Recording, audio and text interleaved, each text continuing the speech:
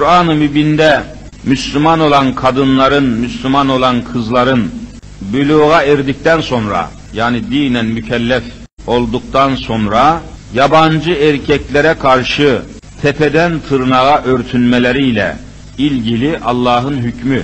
Mesela bir tanesi bir hüküm olarak söylemek misal olsun diye söylüyorum.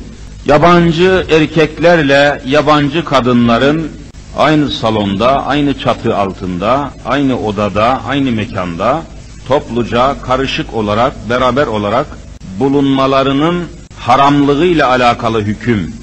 Kur'an'da yer alan bu hüküm, ben Kur'an'ı tasdik ediyorum diyen müminler için bu hükümlerin kıyamete kadar değişmeden hakim olması gerektiğine, Allah'ın bu hükümlerinin geçerli olduğuna, kendisi bu hükümleri yerine getiremiyorsa bile bu hükümlerin Allah'ın geçerli hükümleri olduğuna amenna ve saddakna demek suretiyle tasdik etmekle mükellef olduğunu bilmesi lazım. Efendim bu hükümler bu zamanda, bu devirde, bu asırda, bu çağda nasıl yaşanır, nasıl tatbik edilir? Belediye otobüsünde kadınlarla erkekler nasıl birbirinden ayrılır?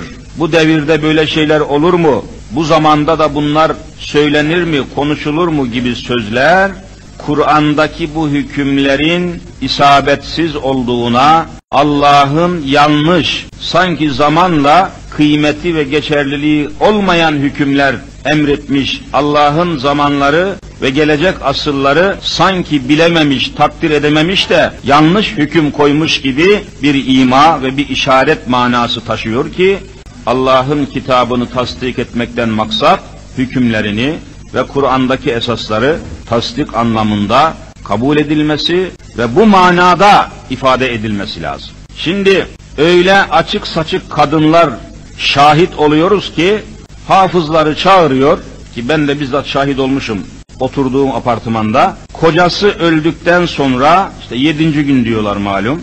Yedi gün sonra hafızları, meşhur hafızları topluyor ve bir hatim, ölünün ruhu için bir hatim okutuyor. Bu hatim dediğimiz Kur'an'ın tamamını, 6666 ayetin tamamını ölüsü için, ölüsünün ruhu için okutan bu kadın son derece, çırı derecede açık saçık, çıplak bir kadın.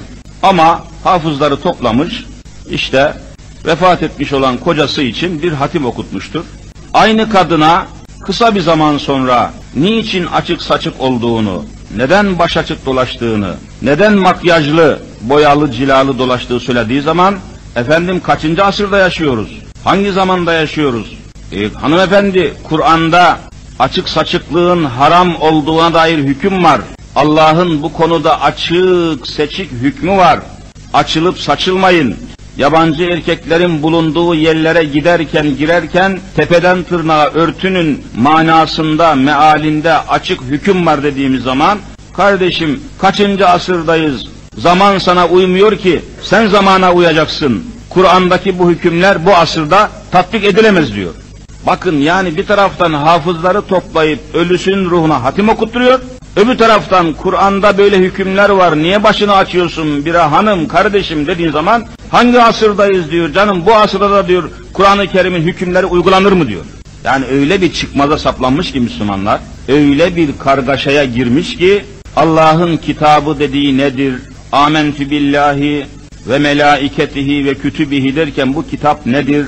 Kur'an ne demektir? Kur'an'ın hükümleri nedir? Nasıldır? Ne ol? Bu konularda demek ki temelde esaslı bir bilgiye, kültüre, imana sahip olamaması sebebiyle ne mümin olduğu belli, bir hareketine bakıyorsun aynen mümin hareketi.